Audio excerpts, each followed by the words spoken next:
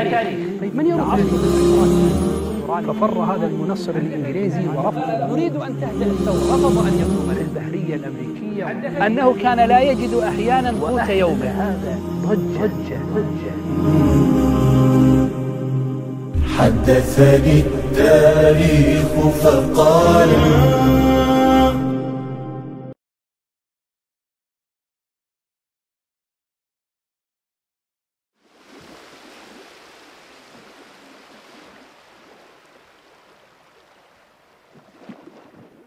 ظل مسلم ألبانيا منذ الفتح الإسلامي لبلادهم حتى قيام الحرب العالمية الأولى في عام 1914 من الميلاد ينعمون بحكم الإسلام وعدل رجاله ويعيشون عيشة راضية وفي أمن وأمان فلا خوف على أنفسهم وأموالهم وأعراضهم. وفي خلال الحربين الأولى والثانية العالميتين أصاب ألبانيا بلاء كبير فكانت نهبا للقوات المحتلة لكن استطاع الألبان بعد ذلك إقامة دولة عاصمتها تيرانا. غير أن أعداء الإسلام لم يتركوا أهل ألبانيا ينعمون بالأمان في ظل دولتهم بل تدخلوا لمحاربة الإسلام فيها. وفي سنة 1928 من الميلاد لما تولى عرش ألبانيا أحمد زوغو وكان حاقدا على الإسلام والمسلمين قام بإلغاء الدروس الدينية في المساجد بل حارب كل معلم من معالم الدين فيها. وفي سنة 1939 من الميلاد لما تعرضت ألبانيا للاحتلال الإيطالي الذي عمل على تنصير الألبانيين بكل السبل فهدموا المساجد والمدارس وقتلوا عددا كبيرا من العلماء وهجروا الكثير من المسلمين من أهل هذا البلد. وكان من جملتهم أسرة الشيخ المحدث محمد ناصر الدين الألباني رحمه الله.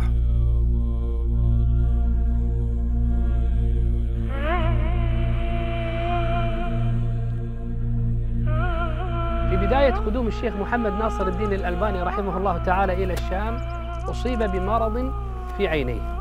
فطلب منه الطبيب أن يعتزل القراءة وأن يعتزل إصلاح الساعات المهنة التي كان يمتهن في أول قدومه للشام.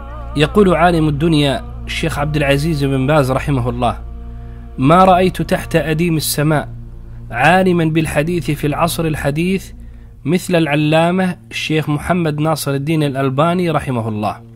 محمد ناصر الدين الألباني رحمه الله أعجوبة من أعاجيب الدنيا في الجلد والبحث والتحقيق والذب عن سنة رسول الله صلى الله عليه وعلى آله وسلم. وقد ترك لنا آثارا علمية يطول حصرها تدل على جلالة قدره وسعة علمه. الشيخ محمد ناصر الدين الألباني رحمه الله ولد في ألبانيا لكنه هاجر مع والده صغيرا ولذلك تلقى التعليم الابتدائي في مدرسة الإسعاف الخيري في دمشق. ونظرا لأن والده كان من أهل العلم والفضل في ألبانيا وكان متمسكا بمذهب الإمام أبي حنيفة رحمه الله فقد قرر عدم إكمال ابنه للدراسة النظامية. ووضع له منهجا علميا مركزا قام من خلاله بتعليمه القرآن الكريم وتحفيظه إياه وتدريسه لفقه الإمام أبي حنيفة ودرسه الكثير من العلوم وأخذ بيده إلى جماعة من العلماء في دمشق فأخذ عنهم علوما أخرى. من أبرز ما كان يميز الشيخ محمد ناصر الدين الألباني رحمه الله تعالى الهمة والجلد التي كانت تشغله عن الطعام والشراب لأنه يرى أن قوته وطعامه وشرابه إنما يكون بالقراءة وطلب العلم. فقوت الروح أرواح المعاني وليس بأن طعمت ولا شربت.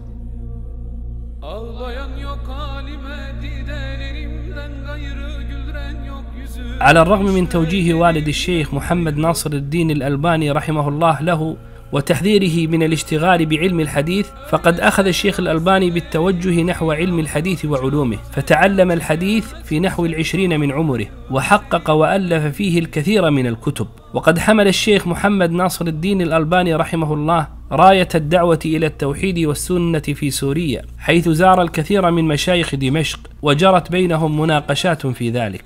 ولذلك تعرض للاعتقال أكثر من مرة. فمثلا قبل سنة 1960 من الميلاد سجن الشيخ رحمه الله في قلعة دمشق وهي القلعة نفسها والسجن نفسه الذي سجن فيه ابن تيمية رحمه الله تعالى قبل ذلك. لما قامت الحرب في سنة 67 من الميلاد أفرج عن الشيخ الألباني رحمه الله مع جماعة من السجناء. لكن لما اشتدت الحرب في نفس السنة سنة 67 اعتقل الشيخ رحمه الله تعالى ثمانية أشهر في سجن الحسكة شمال شرق سوريا. وفي هذه السجنة في المرة الثانية قام الشيخ رحمه الله تعالى باختصار شرح صحيح مسلم والتقى في هذا السجن مع جماعة من كبار العلماء والدعاة. لقد كان للشيخ محمد ناصر الدين الألباني رحمه الله جهود علمية وخدمات عديدة منها اختارته كلية الشريعة في جامعة دمشق ليقوم بتخريج أحاديث البيوع الخاصة بموسوعة الفقه الإسلامي.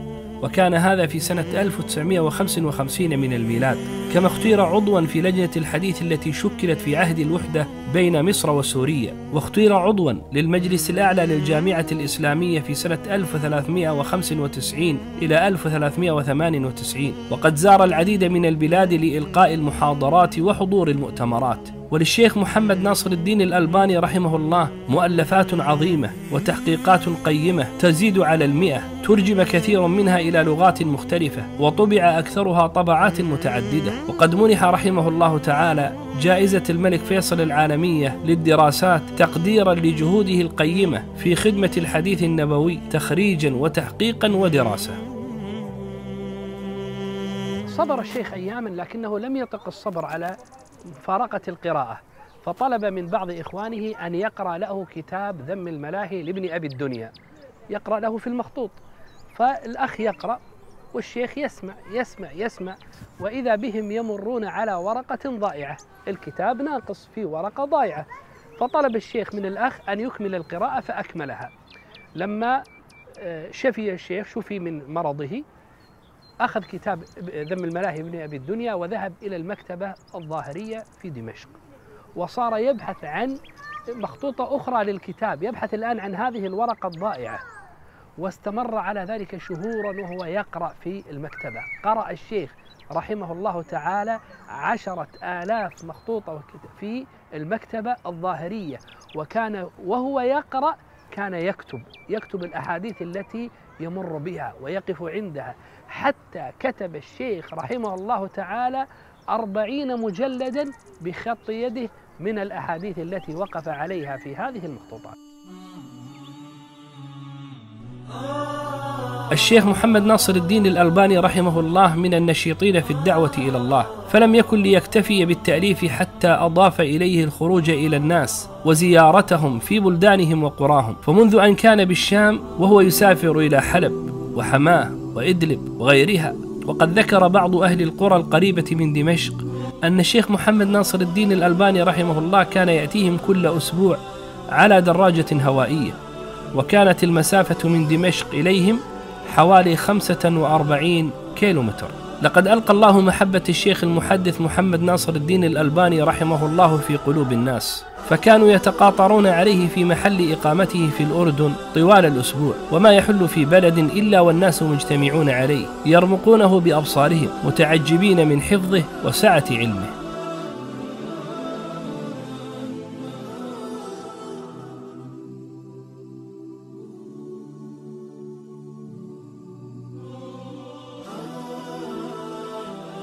الشيخ محمد ناصر الدين الألباني رحمه الله كان يأتي المكتبة الظاهرية قبل أن يأتي موظفوها ولا يخرج حتى يخرج آخر موظف يجلس من الصباح الباكر إلى المساء. يأتيه أهله بطعام الإفطار فينشغل بالقراءة والبحث عن الأكل. فيحملون طعام الإفطار ويأتون بطعام الغداء وينشغل عن الطعام حتى وقت العشاء. لا هم له إلا القراءة والبحث. ومع أن والد الشيخ محمد ناصر الدين الألباني رحمه الله كان يحثه على التمسك بمذهب الإمام أبي حنيفة رحمه الله إلا أن الشيخ الألباني قد وجد نفسه في علم الحديث فتعلم الحديث في نحو العشرين من عمره متأثرا بأبحاث مجلة المنار التي كان يصدرها الشيخ محمد رشيد رضا رحمه الله وكان أول عمل حديثي قام به هو نسخ كتاب المغني عن حمل الأسفار في تخريج ما في الإحياء من الأخبار للحافظ العراقي رحمه الله ثم صار بعد ذلك من أهل العلم والفضل ومن المتميزين في علم الحديث فكثرت مصنفاته وآثاره العلمية رحمه الله.